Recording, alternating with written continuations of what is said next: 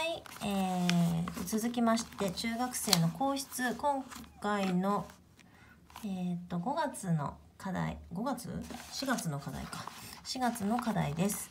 こちらですね。幾重にも重なった重なった山の頂上へ登ればこそその彼方にさらに高い山の存在を知る。こちらね書いていきますえー、っとそうですね。こちらもこの佐々木さんという方が書いてるんですけどちょっとね分かりづらいですよね。いきなりここまで行書にすると分かりづらいかなと思うのでその辺りについて少し分かりやすく解説を加えながらいきたいと思います。まず中心はしっかりと取ります。そこからあ一回ここ見てください。これですね。えー、この部分。えっ、ー、と幾重ってあのいくつものいあのあれですけどこう糸辺のように糸がこう来るんですよ。こうね2個並ぶものです。この字なんですけど12上に上がってますよね。同じこう2つ同じものが並ぶ場合は右を上げます。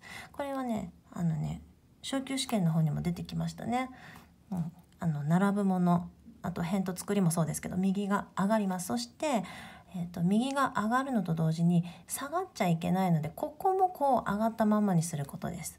でこれですちょっと書いてみますね。でこのね上下の動きを激しくするのがあの崩した時の特徴なんですけどってことは上から入っちゃいけないんですよ。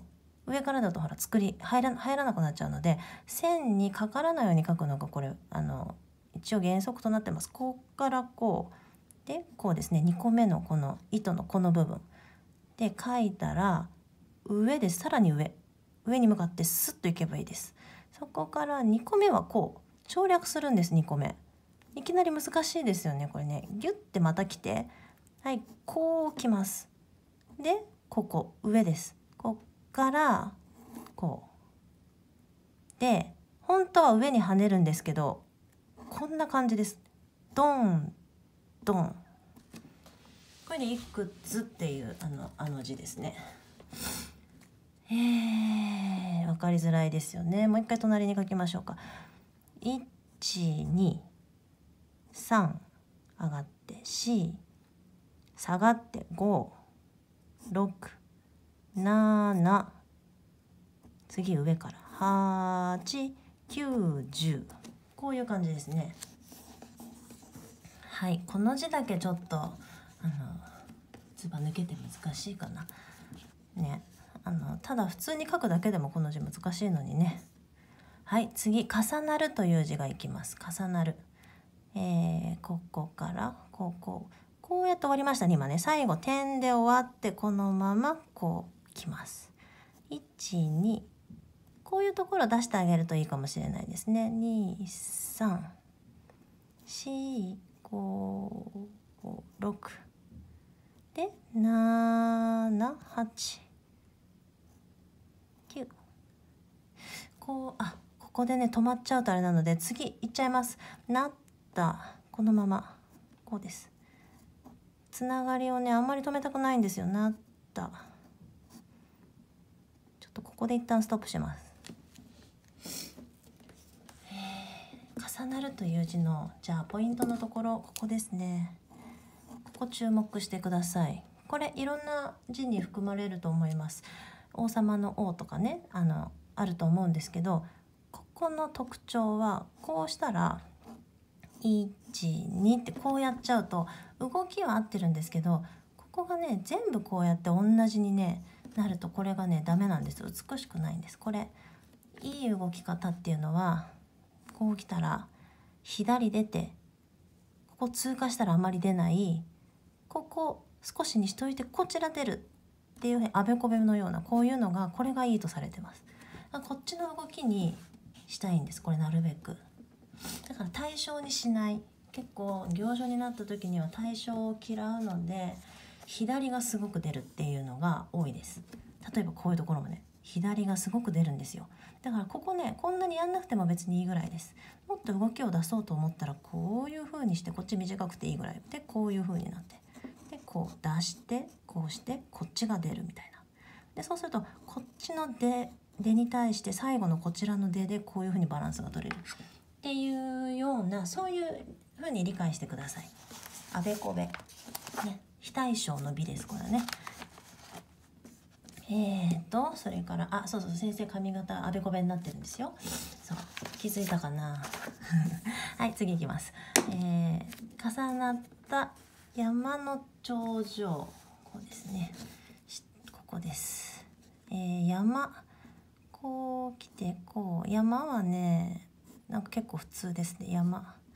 ののっていろんな表情の出し方があって普通さほらこう来てこう来てこんな感じでしょ。なんとなくここ丸くして。そう。ただ今回のこの手本の場合はこうここが高くなってこうやって降りてきてる。これもねありですね。こういうこういうので表現する場合もあります。えー、それから山の頂上。これ、はい、下からになってますよ。こう来て下から。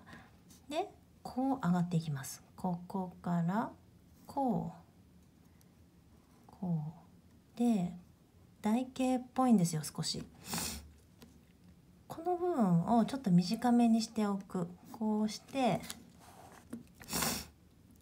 こからこんな感じでふっくらさせると綺麗ですね。ふっくらさせておいてこんな感じ少しです。ちょっとだけにしてそれから膨らむようにするとやや台形ができるんですよ。優しい感じのね。こういうのがあの美しいですね。で真ん中よりあの上の方寄りな感じでトントン。で下。こうです。わかりました？今。平行がね崩れてますここで、えー、まずここ。まあ大体こうまっすぐな感じですよねこれもね。それに対して最後12で3は下からこういう風なラインを持ってきます。これがあのよくある特徴。その2って感じですかね。こっからトントン。はい下から上がる。さっきの寺と一緒ですね。でさらにここでは立てる。次。こう立てます。でこう。立ってますよねこれね。ちょっと間違ったやつを書きます。ここからこうしてこう。ここまではできたとしてトントン、えー、ここもできたとして上がって。これ寝かせちゃうとどうなるかっていうとこうになりますよね。そうすると寝かせるとねここに隙間ができないんですここね。ここに作りたいっていうことでここね。それで立てる。ここを立てるっていうこと。で動きをもう一度じゃあ見てください。123ここまでいいですよね。4567で下がって8上がります。910みたいな。そんな感じです。はい。えー、頂上上という字です。あーここもねそうですね。普通だったらちょっと書くとこないな。ここでこここでいいかな。普通だったら上っていうのは小学校で習うのって123ですよね。これが、えっと、行書になった場合に、えっと、書き順がいくつかあります。かあの書き方として。で今回使われてるのは、えー、1 23っていうこの書き方ですね。うん、なので一応私はその通りに今日は書いてみますけどそこはそんなにこだわらなくていいと思います。あのいけないってわけじゃないしそう1こう上に行きます。1上がって23頂上へちょっと詰まっちゃったねもうちょっとゆったり書いていいんですけどちょっと詰まりましたね。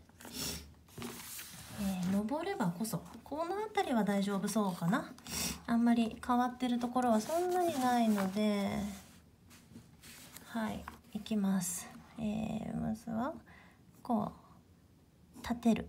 345を6書き順ね。これねちょっとね分かりづらいですけど。こうです。でここはいいですよ。ここ立てる。123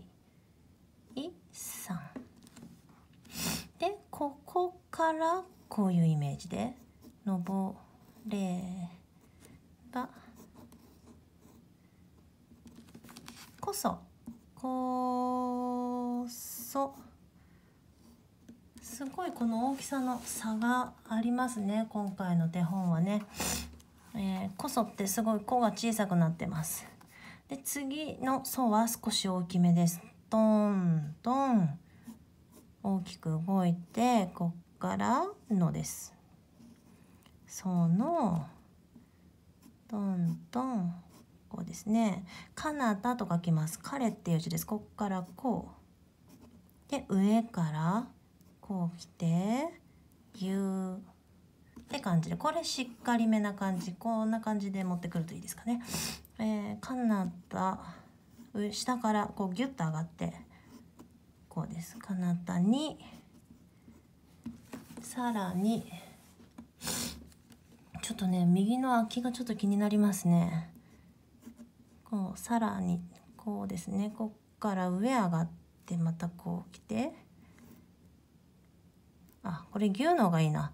今こうやって払おうとしちゃったんですけどちょっとこっち書いちゃう。こうしてここ大きめにしたらトントンで上です。こうしてぎゅーこんな感じ。でぎゅーってやって跳ね返すぐらいな感じですね。さらにうんと高い山の存在を知る。高い高いという字です。こっからこう口を書いてこうこう来て縦しっかりめ。高い。山。山の存在感じですね。ギュッと上がってスッと。これ結構直線に近いですか？こっから上がってこういう感じです。スッと。存在。ギュッ。こうですねをる下から上がります。